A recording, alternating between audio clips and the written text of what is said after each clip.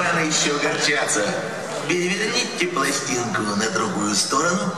Может, все иначе обернется. Это говорю вам я, Карлсон, который временно не живет на крыше.